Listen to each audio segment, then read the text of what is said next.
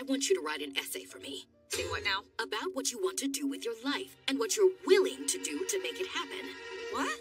Sasha and Marcy didn't say anything about an essay. That's because they don't have to write one. Oh, ouch. Anne, you get to choose the type of person you're going to be. Don't forget that. Hey, what's that? It's just an essay Mrs. Murphy wanted me to write. I almost forgot about this. before I ended up in Amphibia, I didn't care about right or wrong. I just did what was easy. I let people walk all over me. And I think that's because I didn't love myself. Not really. But meeting you three has changed all of that. And these months we've spent together have shown me the person I really want to be. Trap or not, I have to do this.